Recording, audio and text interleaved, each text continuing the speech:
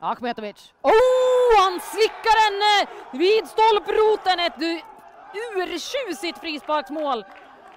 Karlsson utmanar.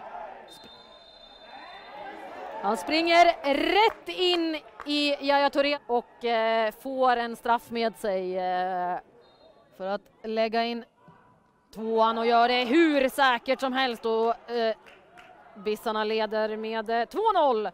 Gratis möjlighet för Gävle här. Tanda ångar på rakt fram. Vad gör han?